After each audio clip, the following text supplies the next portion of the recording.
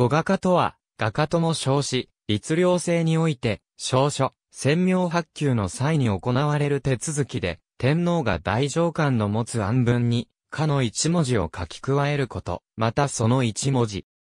天皇の直裁を得た証とされるとともに、正式に、証書、専名として発給されることとなった。また、天皇が要衝で摂政が設置されている場合には、摂政がこれを代行する場合があった。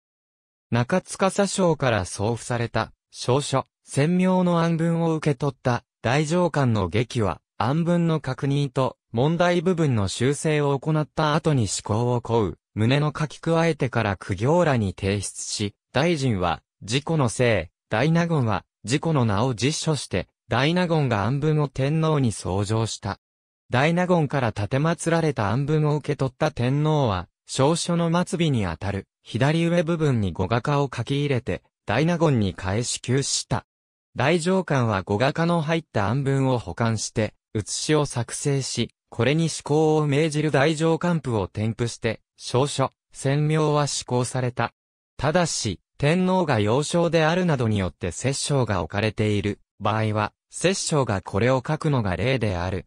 奈良時代の例に見ると、小直に、直、線などと書いたものもある。ありがとうございます。